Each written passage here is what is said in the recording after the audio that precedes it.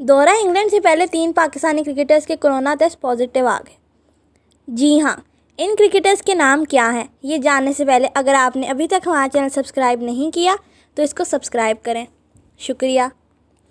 तो बात हो रही थी कोरोना वायरस टेस्ट रिपोर्ट की। तफसीलात के मुताबिक पाकिस्तान क्रिकेट बोर्ड ने ऐलान किया है कि तीन क्रिकेटर्स, हैदर अली, हारिस रऊफ़ और शादाब खान के कोविड नाइन्टीन टेस्ट के नतज मुस्बत आए हैं।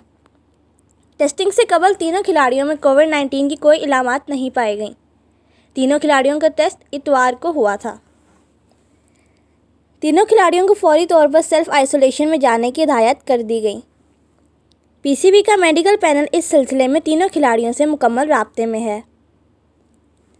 दीगर दो खिलाड़ी, उस्मान शिवारी और इमाद वसीम का टेस्ट मनफी आया है, जिसके बाद दोनों खिलाड़ियों को 24 जून को लाहौर पहुँचने की हिदायत की गई है। शुएब मलिक, लिव डेकन और वकार यूनस के अलावा स्क्वाड में शामिल दीगर तमाम खिलाड़ियों और ऑफिशल्स के कोविड नाइन्टीन टेस्ट आज मुकम्मल कर लिए गए। स्क्वाड में शामिल इन अरकान के टेस्ट चार मुख्तलिफ़ शहरों, रावलपिंडी, लाहौर, कराची और पेशावर में लिए गए। अगर आपको हमारी वीडियो अच्छी लगे तो प्लीज़ इसे लाइक करें को शेयर करें और हाँ हमारे चैनल को सब्सक्राइब करना ना भूलिएगा। शुक्रिया।